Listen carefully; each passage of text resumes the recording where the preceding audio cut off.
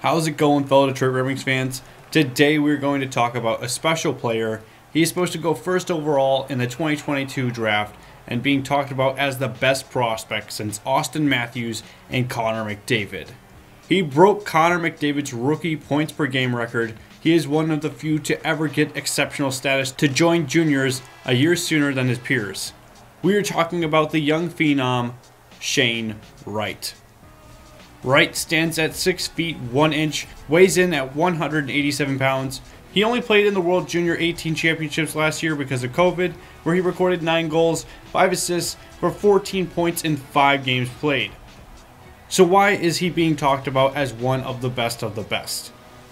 Well, besides breaking one of the top NHL players' records, Wright has a lot of other skills that are far and above his peers.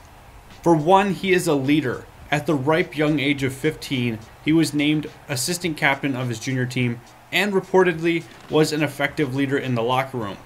And more importantly, has a team leader attitude and work ethic.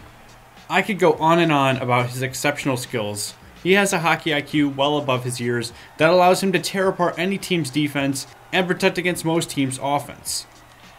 He has exceptional quickness that can put separation on most players and defensemen, and a wicked release that will surprise most goalies, even in NHL.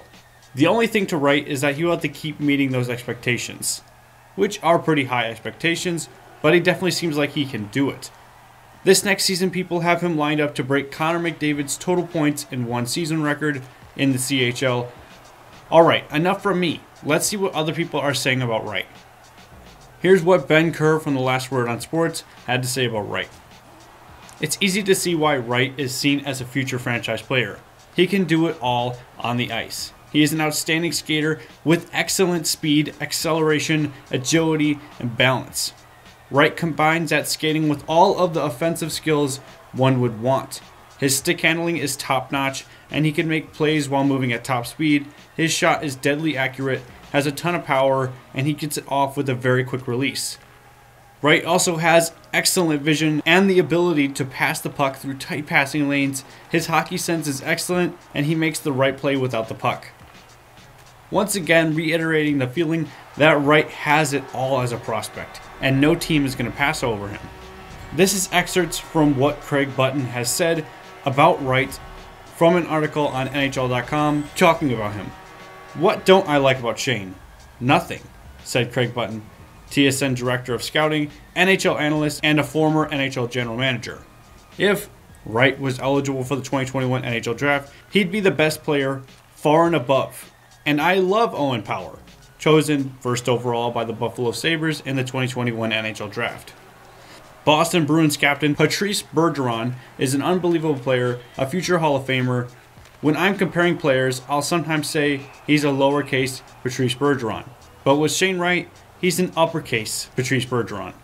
He's brilliant, and I'd put Shane Wright in the category of great because there's no part of the game where he doesn't excel. Once again, they're reiterating the same thing. He just doesn't do anything wrong. Now, as a Red Wings fan, why should we want Wright, aside from the obvious reason that he is right now the best prospect available of the most recent drafts? Well, Wright also fills a major organizational need, and honestly, probably the biggest one that doesn't have a prospect or prospects on the way. And that is the need for an elite number one center. We all love Larkin, and I think he's going to have a jump in production this upcoming season. But having a center who is one of the best in the NHL at that position will take this team from good to great once all the prospects and most things pan out. If the Red Wings don't get lucky and miss out on the chance to draft Wright, which is more than likely with the way the last couple of drafts have gone, there is also another prospect in the 2023 draft that we will be hearing a lot of soon, and that is Connor Bedard. He is another top notch center prospect, possibly being better than Wright. He had more points per game in his rookie season than Wright did, but they also didn't play in the same league, so let's not get ahead of ourselves. What do you guys think of Shane Wright? What do you think the chances are the Red Wings end up drafting him? Let us know down below. We want to hear all your thoughts and opinions. If you like this video, go ahead and drop a like. That way we make more content that you like. And lastly, don't be afraid to subscribe. That way you get notified when we upload a video. And until next time, lights on the red light district.